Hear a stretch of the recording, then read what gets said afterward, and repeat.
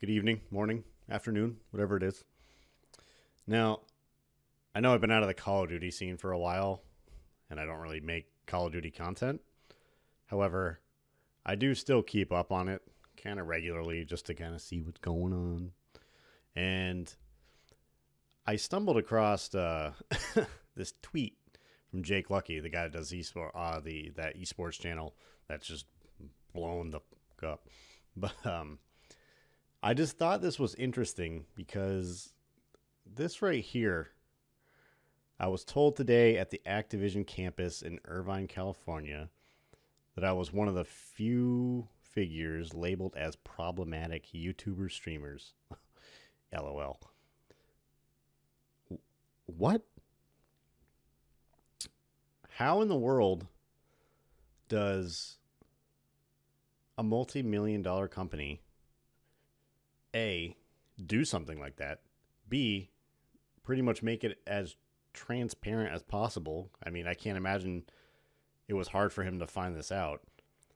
And you can only imagine how many more people are on this list.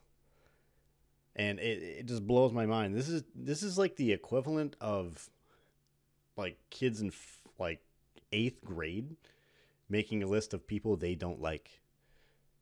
And it's the most ridiculous thing I've ever seen. And I'm just doing this off the cuff. I'm making one take and that's it, by the way. And it just it, it's it's mind blowing to me. It just it feels it literally feels like a high school situation.